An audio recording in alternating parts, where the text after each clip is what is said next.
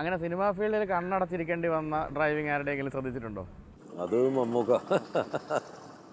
മമ്മൂക്കയുടെ കൂടെ ഒരിക്കൽ ട്രിവാൻഡ്രത്ത് നിന്ന് എറണാകുളത്തേക്ക് ഒരു വരവ് വന്നു. അപ്പോൾ അന്ന് അത് അദ്ദേഹത്തിന്റെ ഓട്ടോമാറ്റിക് വെഹിക്കിളാണ് അപ്പോൾ ഒരു കാൽ മടക്കിയൊക്കെ വെച്ചിരുന്നിട്ട് വളരെ റിലാക്സ്ഡ് ആയിട്ടാണ് ഓടിക്കുന്നത്. നല്ല സ്പീഡും പിന്നെ വഴിയിൽ ഈ ട്രാഫിക് റൂൾസ് തെറ്റിക്കുന്ന ആൾക്കാരെ ചീത്തയൊക്കെ പറഞ്ഞിട്ടുള്ള ഒരു പോക്കാണ് ചില സമയത്ത് നമ്മൾ കണ്ണടച്ചു പോകും.